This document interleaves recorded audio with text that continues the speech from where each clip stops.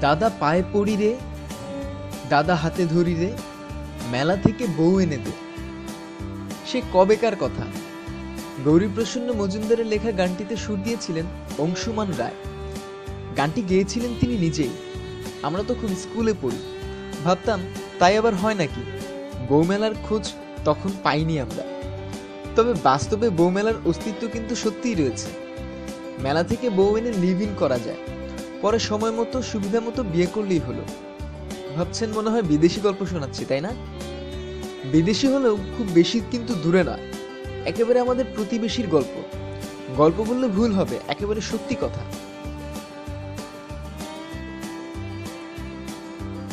ভারতের রাজস্থানের জয়পুর জেলার নয়বাস গ্রামে রয়েছে শতবর্ষ প্রাচীন এই পরম্পরা।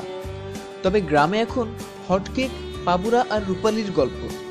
বহুদিন লিভ ইন করার পর শেষ পর্যন্ত রূপালীকেই বিয়ে করেছেন পাবুরা এ নিয়ে এখন আলোচনায় তোলপাড় গোটা জয়পুর ও উদয়পুরে।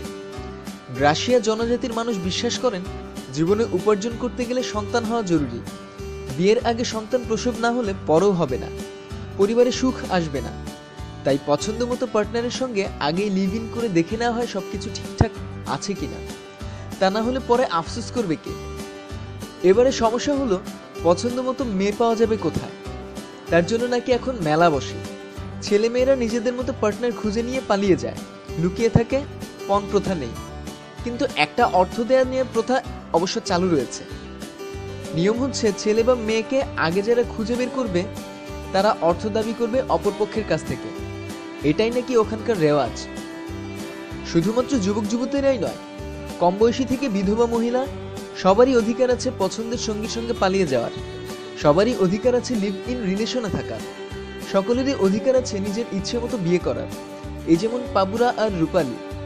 দীর্ঘদিন লিভ ইন করার পর এই এতদিনে তাদের মনে হয়েছে বিয়ে করা দরকার।